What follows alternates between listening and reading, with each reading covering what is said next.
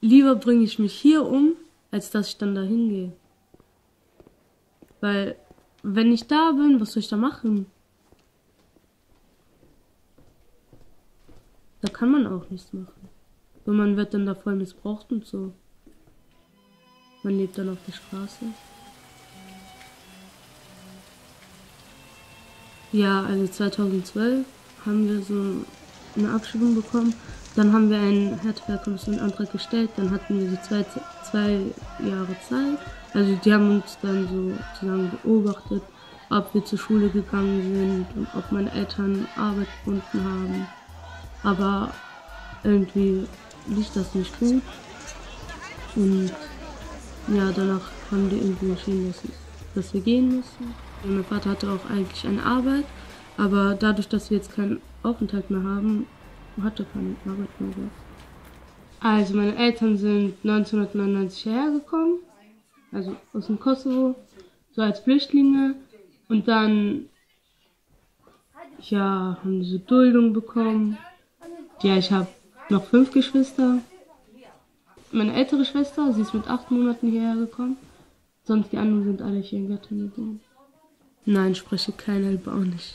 Ich verstehe allgemein die Sprachen da unten in diesem Balkan gar nicht. Ja, ich bin gerade auf einer berufsbildenden Schule, das ist die BWS 2. Ähm, da mache ich gerade meinen Hauptschulabschluss. Früher bin ich nie hingegangen, aber jetzt läuft es gut. Ich bin sozusagen eine der Besten aus der Klasse. Ich bin auch zur Klassensprecherin gewählt worden. Äh, zurzeit mache ich also Praktikum, für, also in einer Bäckerei. Und wenn ich möchte, kann ich dann da auch eine Ausbildungsstelle haben.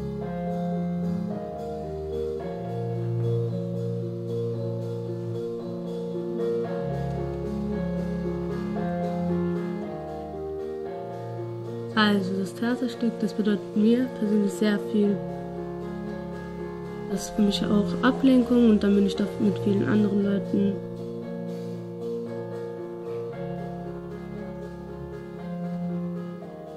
Ja, wir warten erst, also auf das Gericht in Lüneburg, ob, die, ob wir überhaupt so einen Antrag stellen dürfen, wenn, wenn wir das machen können.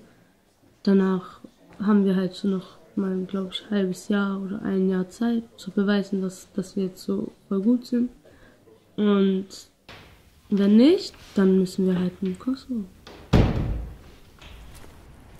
Ich verstehe das gar nicht. Wie kann man einen Menschen abschieben, ich meine, so und sagt, du gehst dann in deine Heimat. Aber das ist doch gar nicht meine Heimat. Ich meine, ich bin hier geboren und dann heißt es ja, dass es hier meine Heimat ist.